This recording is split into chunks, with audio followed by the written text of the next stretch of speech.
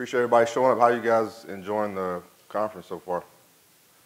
Yeah, a lot of great, great content. I haven't been able to get to any sessions yet, so hopefully after this, I'm gonna at least see one or two, and then uh, especially tomorrow. But all right, so what we're talking about today, the title, Empowering IT Teams Safely and Effectively with System Frontier 2.0. All right, so what does that mean? So there's, there's things the IT admin never wants to hear, you know? We just take calls and forward the tickets like your help desk, service desk.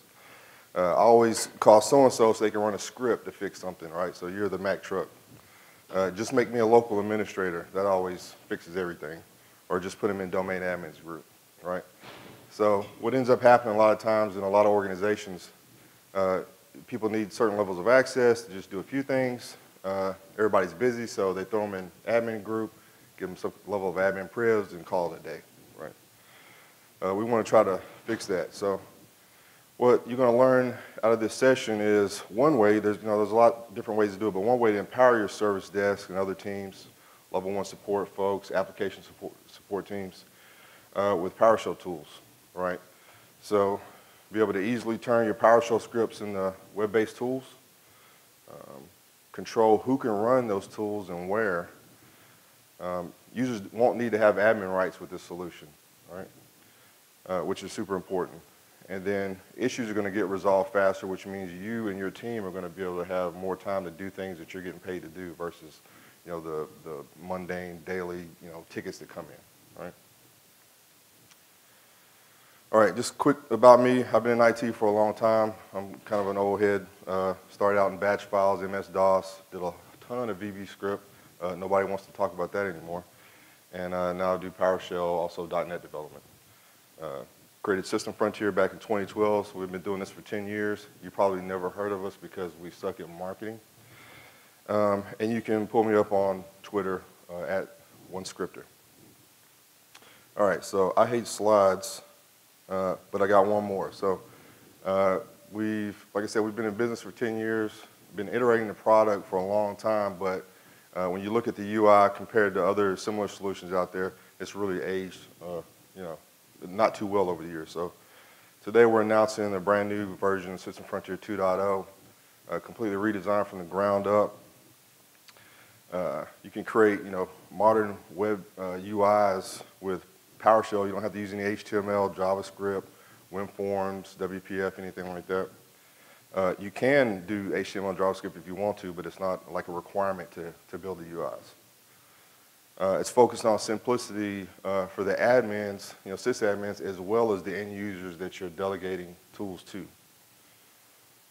Um, every tool includes uh, role-based access control, uh, REST API, uh, parallel execution job engine, so you can run scripts across. You remember in the keynote they talked about, you know, for each parallel, kind of the same concept where you can execute scripts across tons of targets uh, and do it in parallel, but your script doesn't have to have any code like that in it.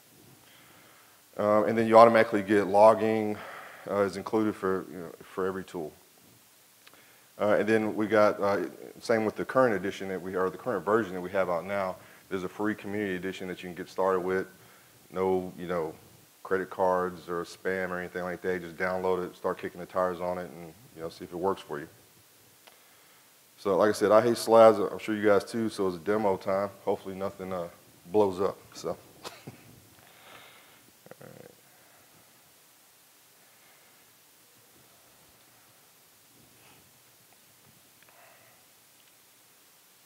Yeah, it's already blowing up.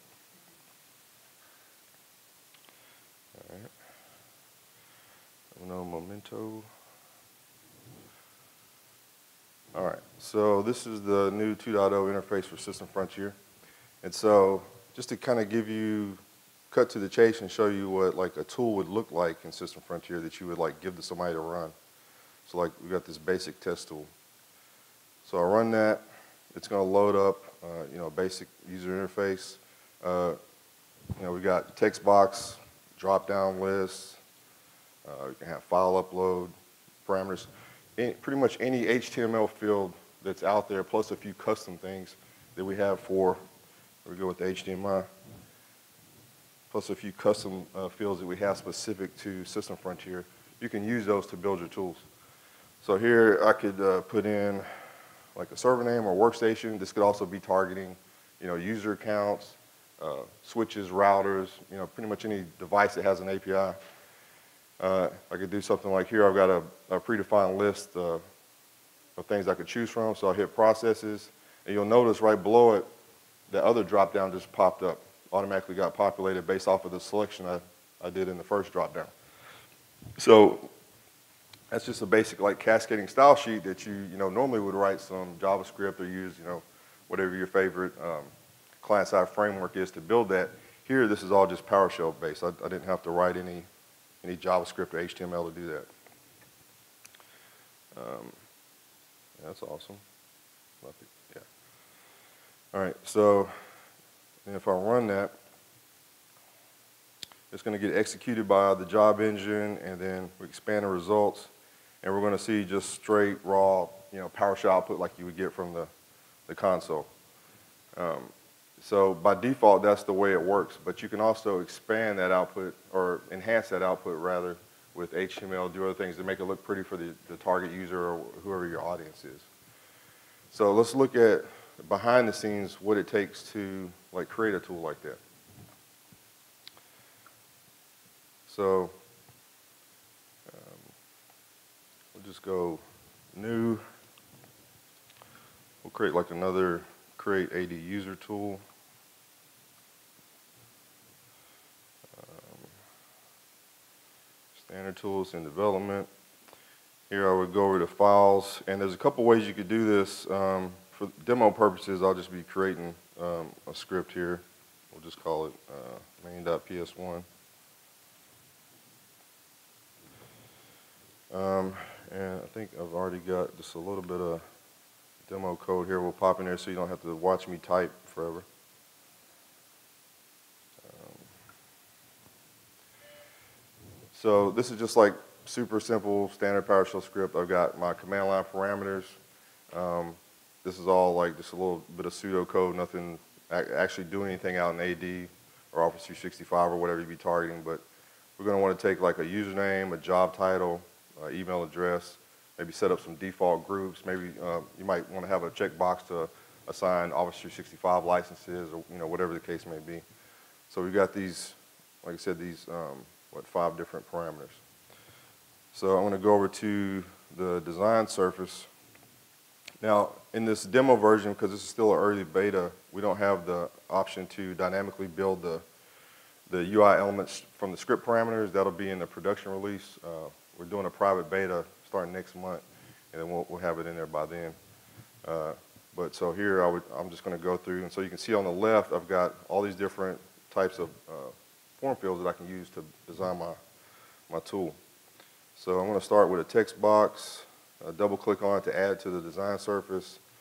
Um, it's got a default name. I could give it a label, so you know, we'll call this uh, maybe username. I think in my script it was actually called user ID. Um, and then, let's see, let's go back over to the script. So I had job title, SMTP address. So maybe um, job title, maybe let's say I want to do like, I don't know, a list box. Because uh, I don't want the user to type in the, all right. Now I could start out, so over on the left, I've got that list box one, so we'll, we'll rename it to uh, job title. Now one thing to notice, the, the name property here, that's what's matching up to my command line parameter. So as long as that name matches your command line parameter, whatever the user puts in there or selects, that's going to get passed over to the script when it gets executed. But you can, like I said, give it a different label. So I could say, you know, job space title for the label. Now, uh, there's this data source property. So there's two ways to populate this in your form. So let's say it's something really simple, basic. You could just put like a static list in there, which we'll start out with. So maybe I, we have like uh, accountant and then, um, you know, secretary or something. We'll say uh, tech analyst one. All right, you could also set up like a default value. So let's say you got a form uh, for like this create AD user and like there's maybe five pieces of, the, or five elements of the form that always are, you know, nine times out of 10 the same value. You could set a default value for that so the user can like have less clicks to go through when they're running this tool. Uh, then, and there's a few other properties here, uh, but we'll, we'll stick with those for now. let's see, and then uh, I think the next one was SMTP address. So I'll add another text field down here. Uh, Call it SMTP address. Uh, And we'll just, we'll show the user email. And then what was the next one? Uh, Default groups and org unit. All right, so so if you notice default groups, um, we got a string array, right? So maybe we want to set them up with multiple default groups, so we want to pass in an array to set them up in the AD. So for that, um, we could do, do it a couple ways. Uh, I think I'm going to go for a checkbox or a set of checkboxes.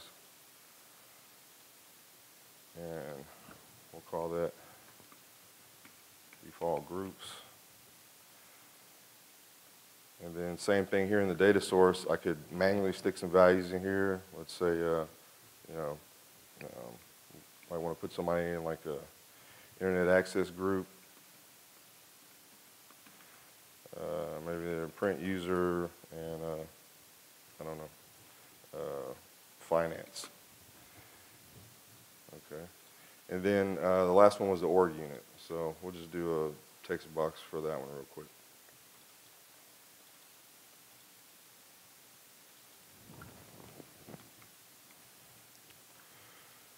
All right. so let's let's save this and just take a, a quick look, make sure everything looks okay. So this, here's our create AD user two. Let's run that.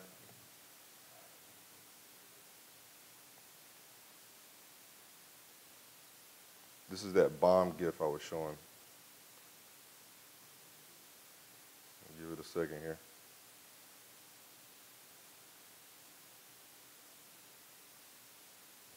Yep. So that's the nuclear bomb GIF. All right, let's let's try that again.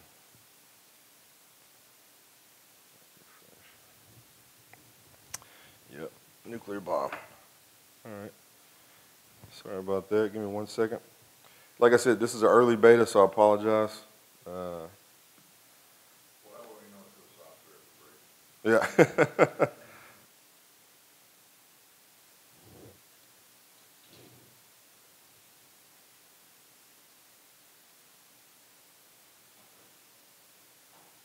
All right. Well, the, the demo's going great so far. All right. Let me try, uh, see if we can load up that test tool I had in there.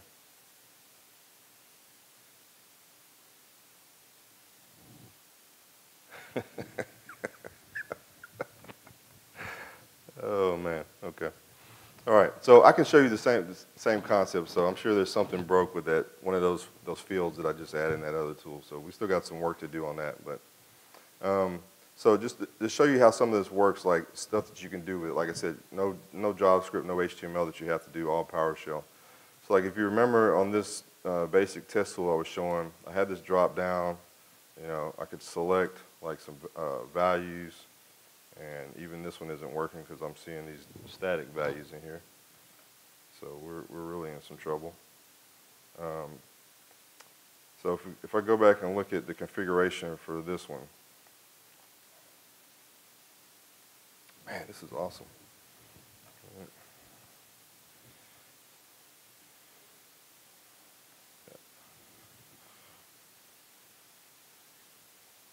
Okay. All right, so like I was trying to say a second ago, um, so like we have these two drop downs on this test tool, and I did the like cascading drop down effect. I selected a value in one drop down, and then automatically populated the next one. So we've got like an event model in the new version where, let's say here I talked about having those static data source values. Well, you can also populate stuff with events. And so the, at a, and they're at two levels. So events happen at the tool level and then also at the custom field level. So at the tool level, if I go over to the events tab, there's this on initialize event, right? So what this does is uh, you can run uh, PowerShell snippet, and, and we, support more than just PowerShell. It could be, you know, Python or other languages. Most of our, almost all of our examples uh, focus on PowerShell because that's the, what works the best with the product. Um, but again, we're not limited to PowerShell. So this on initialize uh, script here, this is just another tool, right? So I can go over and we'll pull up that on initialize script, edit it, go to files, and then look at the actual script code. So here I can act, I can edit the script in the browser, we'll switch it to full screen. Um, and so what's going on here is we've got this automatic, uh, basically like an automatic uh, variable that's exposed to every tool called data bus, right? And on the data bus is all the information about everything that is going on with that tool, with the custom fields, the events, everything that's, that's happening. And so in the context of wherever you, wherever you are when those events fire, you, you get the data you need to make decisions, make changes, updates, or remove stuff, whatever, and then pass it on to the next phase of the, of the script. So right now, this on initialize, this is right before the user sees the UI load. So we, we get a reference to that drop-down list for custom field, the one where I selected the first value. And then we, here I'm just doing a simple array. I'm just, I got some static values popped in array, so nothing fancy. Uh, and I set the data source property for that parameter, and the data source is what is used to populate that field. Now, this could also be like, you know, CIM call, uh, WMI call, could be a query to a database, a LDAP query, any, anything you could do with a script normally, uh, you can do it in these event scripts, uh, just like any other tool. Uh, another cool thing about this is um, every tool in System Frontier runs in the context of like a service account or, or, or another account. It never runs in the context of the user who runs the tool. So I could have the tool itself, when, it, when the user passes in all the information, or even if you make an API call, that runs as one account. But maybe this on initialize uh, tool or one of the events, they could run in other security contexts. So maybe I have a drop down that needs different credentials to talk to this database, and then maybe a table further down the form that needs another set of credentials to talk to, uh, you know, a, a domain controller in a completely separate domain behind a firewall. You can set all those things up within System Frontier, and it's transparent to the end user. They don't know anything about the multiple credentials or how that's configured.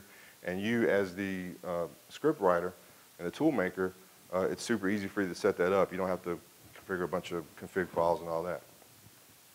So as a tool maker, does this plug into like source control at all? Or, Yeah, actually, um, cause I, you know, I'd like rather have a pull request. If I'm gonna give somebody, you know, the equivalent of admin rights, like I don't want to see format people. Like, yeah, yeah. so how do you, how do you set it? So go over to the versions tab. We've got a few version uh, control vi- providers that we're going to support out of the box for the um, GA release. So GitHub Enterprise, GitHub, GitLab. So you would just select like which one you want to use. You'd put in your project URL. Um, if you don't uh, put in a branch, it's going to default to the main one. And then you would specify what credentials or API token you want to use to connect to, uh, to that repo. And so then you can work in, you know, VS Code or, you know, PrimalScript, which I like to use, uh, whatever you want. Check your stuff in the source code and then sync it to System Frontier. And you can either do that manually or you can set up a schedule so it automatically syncs or on a schedule or, you know, however you want to do it. When do you think is to I'm sorry, what? Is there DevOps? When do you think they're Uh, probably soon after release. It's really based, th- anything past these is based off of customer demand, customer demand. We've got tons of customers that want, you know, obviously want GitHub, GitHub support and a lot that want GitLab. Uh, haven't had, I haven't, can't even think of requests for TFS, but I have heard that, here- not TFS, I'm sorry, Azure DevOps. I've heard several people here this week asking about it. So that's probably something we'll put on the, the roadmap for a, a feature pretty soon.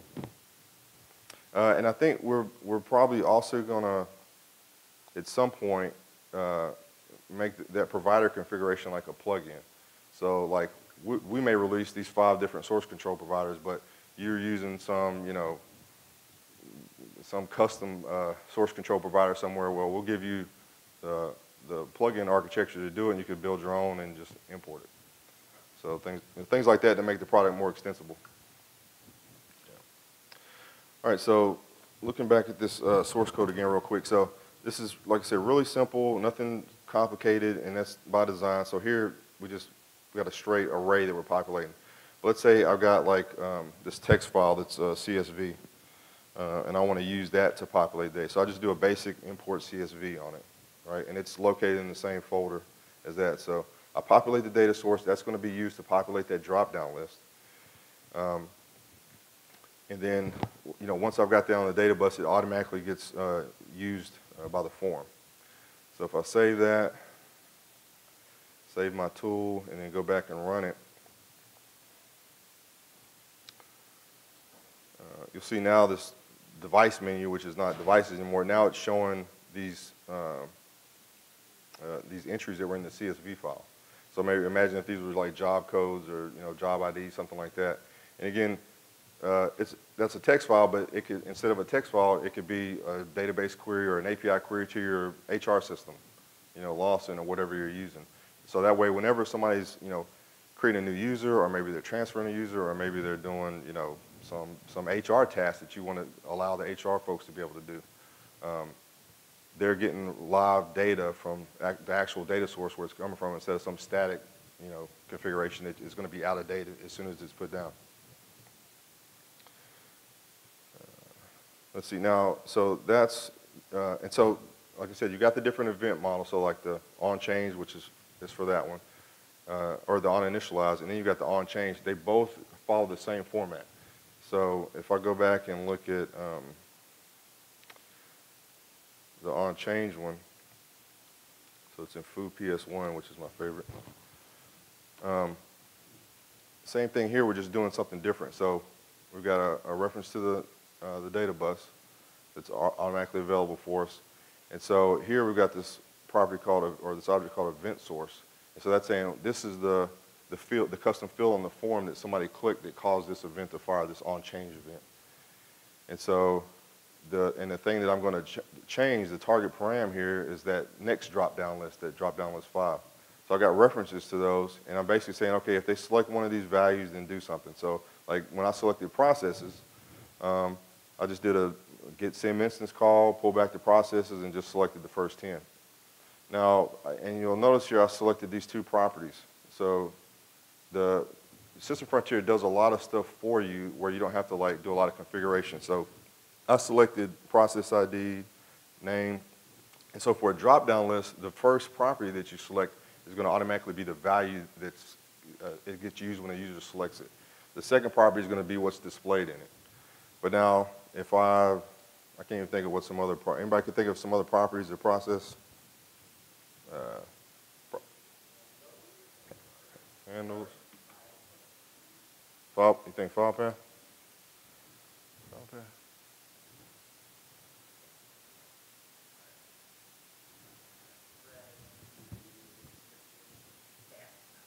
Okay, path. But handles is one of them? Okay. We'll see how that works. Hopefully it won't blow up here, but, so, so I'm- selecting, you know, multiple properties, right? And so, and then, once I get that data, then you'll see target parameter two, that's that second drop down that you didn't see at first. Then I just set it to visible. So it's super simple. I'm just saying, hey, once the user selects this, then go get, do something, get some data, and then and use that to populate this next uh, drop-down list and show it. All right. So let me save this. And save my tool. Now, oh, oh, let me switch the, that data source back to the, um, the original one. Uh, sorry. Go back to my on initialize.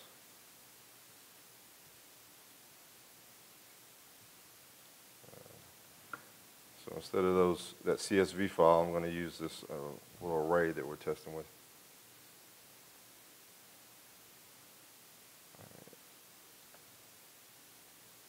So now we'll run it. So I'm going to select processes again. And you'll see, I still see the list of processes, right? Because, and you remember, that first property is going to be, it was like the process ID. The second was the name, so that the name is what I'm seeing in the dropdown. But let's say, uh, you know, my users are running these tools and they're like, you know what, I, I need more information about the processes uh, that I'm selecting. Like, can you change that? We don't have to go back and like write a bunch of code to do that. Um, I'll just go back, and configure the custom field for that dropdown. And so instead of a drop-down list, let's say, well, I'd rather it be a table. So I'm just going to change it to a table type, data type. Go back and run the tool again. Uh, select processes. Now I got a table. I didn't have to, you know, like I said, write any code to do that. Uh, since Frontier takes care of rendering that UI for me, so I can focus on the script code and not have to deal with UI stuff so much. So here, you know, by default, this lets you select a row, and so like, let's say I select 736 or whatever, that, that- PID would get passed to the script when I run it. Um, you can even do things like, like I said, uh, um, file uploads. So let's say I, I needed to do something here, like, um, let's say we were doing that, that, uh, create user thing. Let's say I'm gonna, we're gonna add Gary Coleman to the HR list. Hopefully I can do this. Uh-oh. Why can't I drag a file?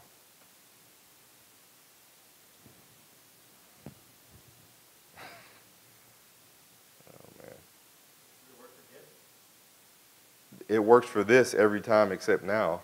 That's, you know? Is, this is awesome, dude. I'm loving it. Dude, man. Yeah, okay.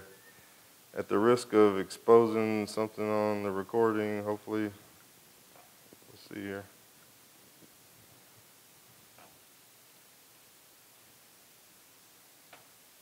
All right, so I can hit upload. And let's see, let me pop in a name again. Now, again, I'm putting in like, this particular tool will be, is targeting a host name, right?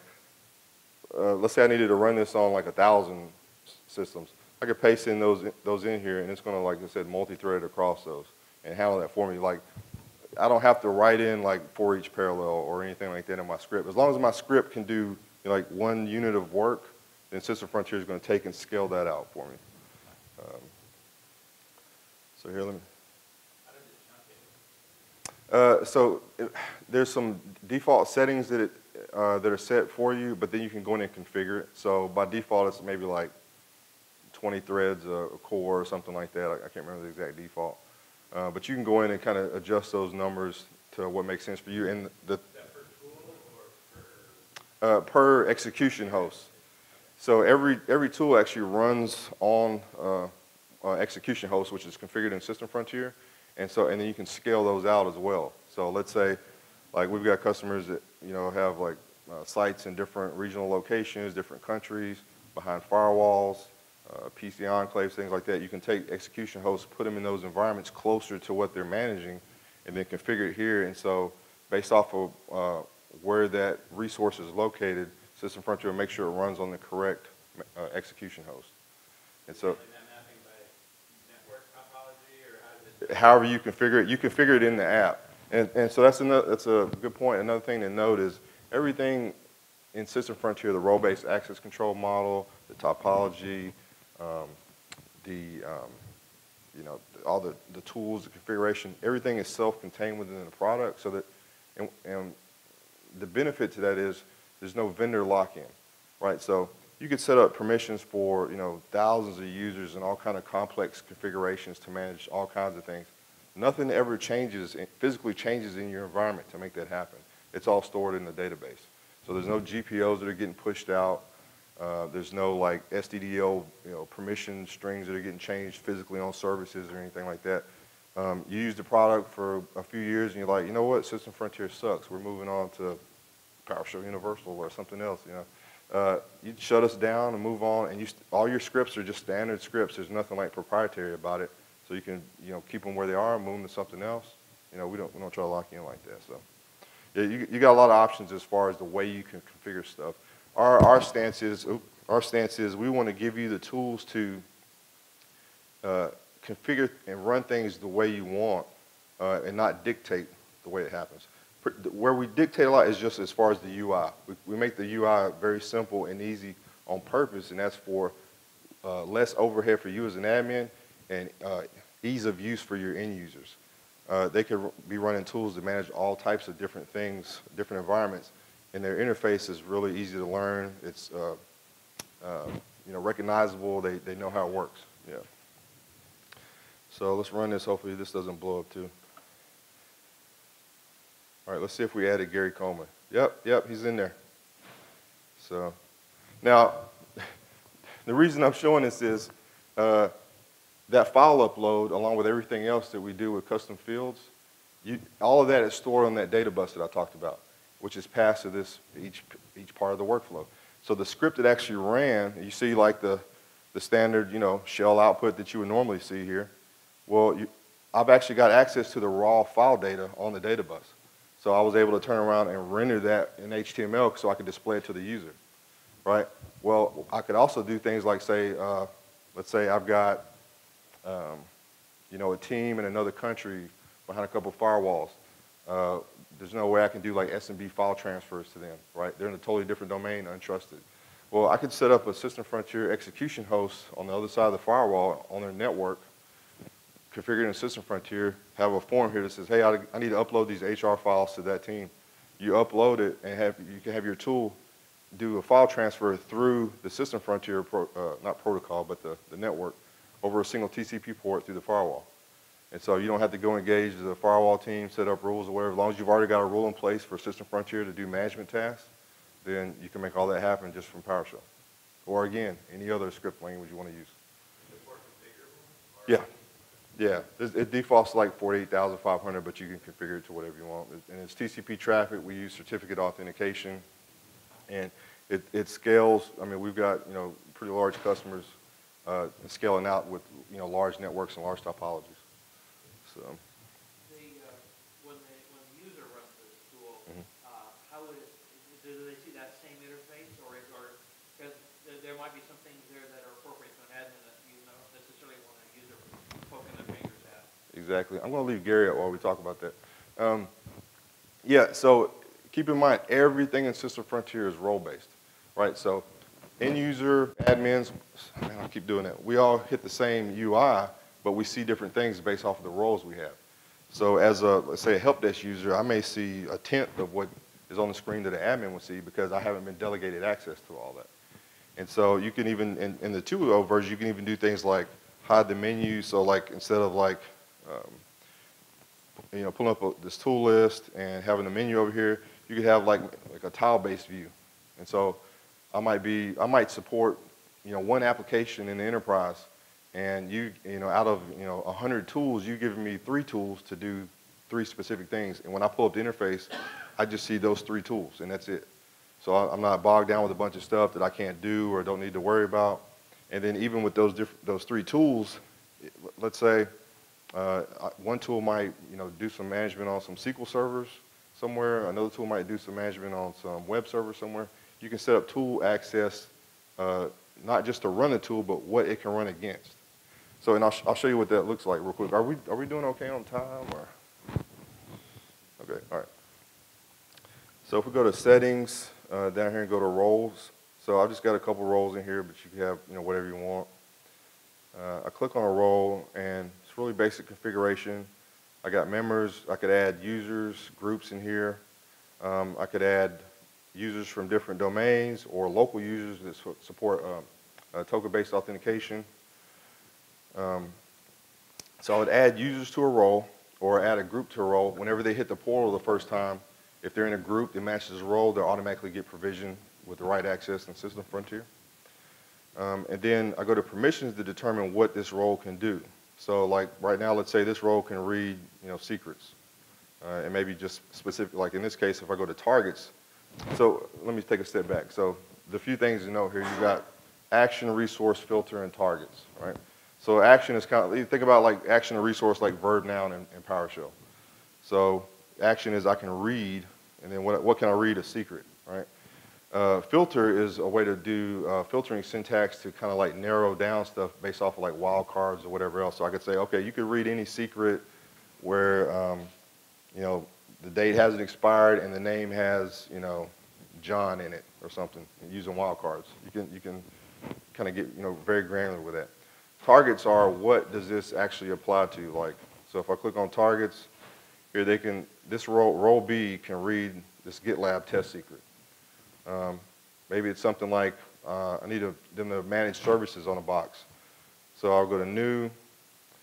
Here I got a list of different actions I can provide. So I can just give somebody read access. I can give them modify access, start, stop, different things. I've got full control over that. So let's say in the case, or let's say like a custom tool. Let's say I want to start, and then here's all the different um, objects that you can apply permissions to. So I'm going to say I want them to somebody to be able to start a custom tool. Well, I've been in this case. I don't know if you guys, but where we've had contractors come in and do a project for six months, they leave. A year later, we're like, hey, did we remove their access? Okay, let's go, you know, clean it up. Uh, here you can actually set like expiration date on permissions. So you can say, all right, well, these perms are going to automatically expire on this date. So to apply that, so now they've got the start custom tool permission. If I don't add anything, that means they can start any tool, right? But I want to click on targets, and I'm going to go, let's search for that uh, basic test tool we've, we've been working with. So I could select that and, I, and uh, hit add, apply, and then now, you know, anybody in this role B, they can start just that one specific tool, right? And uh, so I can also scope that to, like I said, different systems or whatever, you know, however you want to. So you, you got a lot of options in how you can kind of slice and dice permit, roles and permissions to make sure you're only giving people, the right people, the right level of access that you want them to have. All right, so let's see. Let me go back to tool again. So I talked about, you know, each tool runs in a, its own security context. So you click on the security tab and you select whatever credentials you want that tool to run as. Um, if you don't select anything here and it's uh, one of the objects, object types in your system frontier like uh, server, workstation, user account or whatever, you can have it set up. We've got these collections. So you could set up a, a collection to where, let's say, you know, there's a bunch of servers in that collection. You can set up credentials on that collection so that basically anytime I manage anything in this collection, it's going to use whatever credentials I've, I've, specified for it. So let's say a tool is targeting that collection. If I don't specify creds on the tool, it's going to resolve to whatever the targets are in. So if the targets are in that collection, it sees a credential for it, it'll use those automatically. Me as the tool designer, I don't have to know the ins and outs of that. Some of the benefits of that is, let's say, you know, let's say I need to add a, a Win server to entry on, you know, 5,000 machines and they're all over the place, right? And maybe they're in like 10 different collections. Well, for some reason, maybe several of those collections have different uh, credentials configured on them. My tool doesn't have to know anything about that. I just don't set credentials on the tool. It'll automatically resolve the right credentials on all those systems. Again, multi-thread that all, and, and you know, it just kind of happens transparently in the background. Is that making sense so far? Any questions or? All right. And then uh, one other thing I, I want to show you real quick. Um, so I know back when I was you know, working for you know corporate companies, you would get all the time like, why are you working on this script? Why are you automating this? Why are you trying to do X, Y, Z? How is this helping us? And so, you know, in a lot of cases, people aren't doing centralized logging. They're not doing any type of telemetry, things like that. So you have to go back and try to figure out, okay, what what have I done? How is this impacting the company? How am I helping?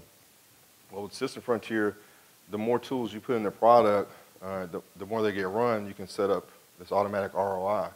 So we have this feature in the current version, had it for uh, a couple years now, and it's really been a huge uh, success with customers because what it does is, as an admin, uh, every time I create a tool or all the people that are creating tools in the product, you can go in and say, okay, on average, um, if, if a human does this process, how long is it going to take on average? And so then you would put that into, the, into this configuration setting here.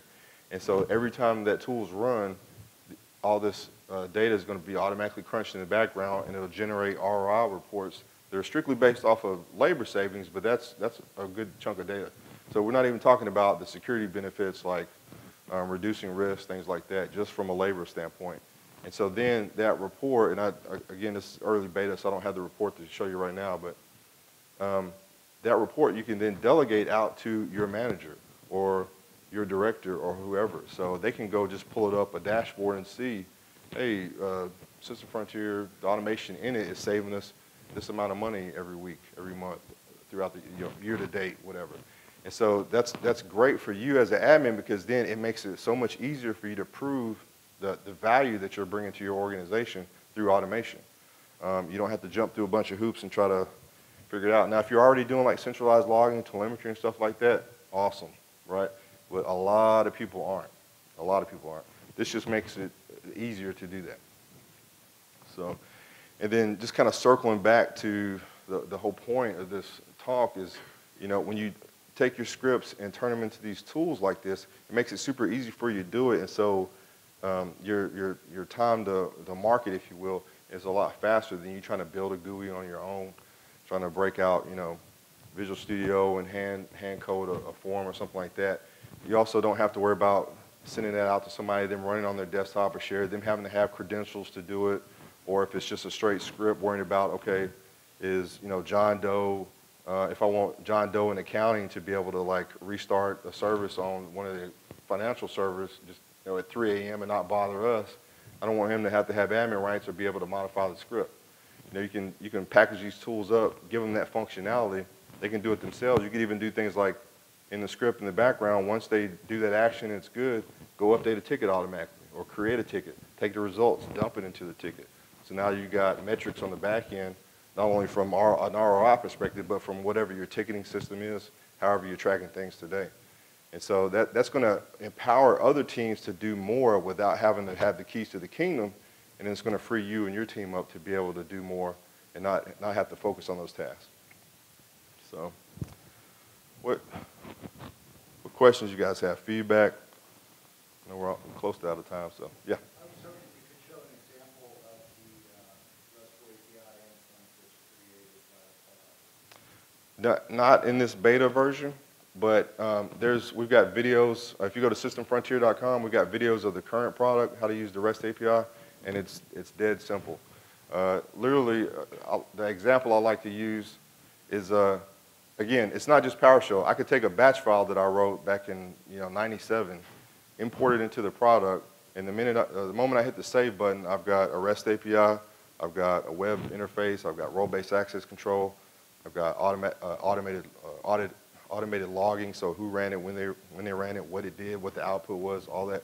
All those things are wrapped up in there. And so like the REST API, you, the, you, you set up some, like a, a hash table of parameters that match the parameters in your, in your script and on your form. Uh, you pass in the values, pass that to like an invoke REST method call. Uh, you pass in, so you see this GUID up here in the, in the URL. Every tool has a specific GUID. You pass that in, that GUID in, so you know which tool you're running, and that's it. I mean, you can have it in like five or 10 lines. And like I said, we've got some videos out there. Uh, Josh, we had a video with Josh King uh, on the site, and then there's some other videos too, and then documentation on it. It's, it's super simple. And the API in the new version will be very similar, but way more robust. There's a, like, there's like a limited set of things you can do in the current version. The new 2.0 version, you've got access to everything under the hood, so you can, there's just a lot more functionality you, that you can use, but not that you have to. Again, our design is simplicity first, and then give you the ability to get more complex with it, but not make it a requirement. So, what about, uh, is there support for uh, group managed service accounts for your, uh, you know, for your access to the remote system? Can be done with a managed service account? not, not yet, and we, we've been kind of researching that. I've had a lot of customers ask about that, but the way, the way we execute tools, are- since they're in the context of a, an- a or an, an account, they need basically like log on, uh, local permissions to actually do that on the execution host. So, yeah, we, we, Yeah, I guess if you were going to use a group managed service account, you would have to have that account imported on every endpoint that you wanted to run the script on. That could be a little unwieldy. Yeah. Yeah, and like, um, like, and as far as like the execution of the scripts, like I said, they run on the execution host, not on the target, but if you're using like WinRM or whatever in your script, we don't dictate what you do in your script, we just give you the ability to run it. So you could do uh, Windows remoting or whatever. I'm doing a talk tomorrow on an open source script called WMI exec. It's like, a, like if you want to go back in time and use WMI to execute stuff remotely and get the output back. It's not something I recommend today, it's just kind of a novel approach that uh, I came up with, so. But yeah, you could do all that stuff with System Frontier. Um, yep. What other questions you guys have? Well, cool. Well, I won't uh, let you go early. I appreciate everybody's uh, time and attention, and uh, thanks for checking out the brand new version of System Frontier.